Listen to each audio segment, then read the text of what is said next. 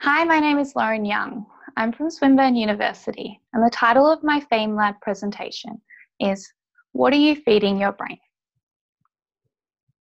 We know the majority of Australians are eating an unhealthy diet. And we know the impact this has on our physical health is enormous. Diabetes, cardiovascular disease, obesity, just to name a few. But what about the effects on our brain? I'm sure you can all recount a time where you felt sluggish and unable to concentrate after eating a heavy meal. As the most nutrient hungry organ in the body, it makes sense that our brain relies on what we feed it. Now, what if I told you that the studies we have linking the relationship between diet and our brain are flawed and that they shouldn't be trusted? Well, in our short time today, I'm going to convince you exactly why that is the case. In my research, I tackled the issue of participant selection.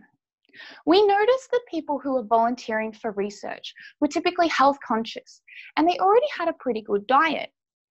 And if someone already eats well, it might limit our ability to see any further improvements in their health.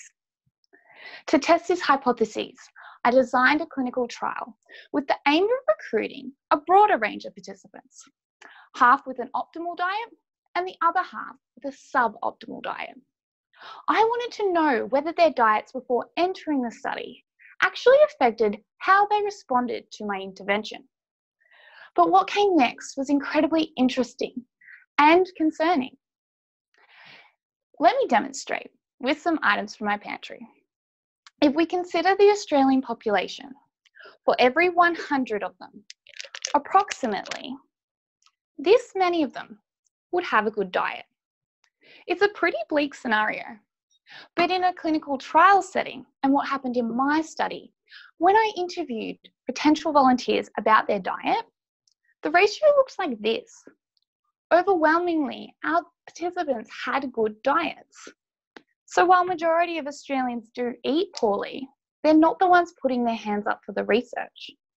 Had I not set this quota, attempting to find people with a suboptimal diet, I would have missed out on testing the people who could benefit most from the intervention.